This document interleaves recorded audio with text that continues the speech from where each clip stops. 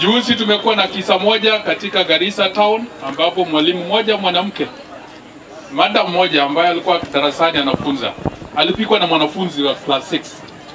Hiyo ni aibu kubwa sana, na tulichukua hatua tukashika wazazi tukaweka ndani ili tukuonyesha kwamba sheria lazima ifanye kazi, lakini hata hivyo hatuwezi tukakubali walimu kufulumiwa, walimu kufukuzwa, walimu kutishwa.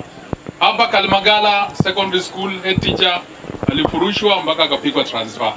Huko Alinjukur kuna principal moja ambaye imesemekana kwamba atoke huko, lakini tumesema kwamba walimu wetu lazima tuwatunze, tuwapatie nafasi waweze kufunza ili tuweze kuimarisha maneno ya matokeo ya examinations yetu, kwa sababu exams, ile matokeo ya exams bado iko chini kabisa.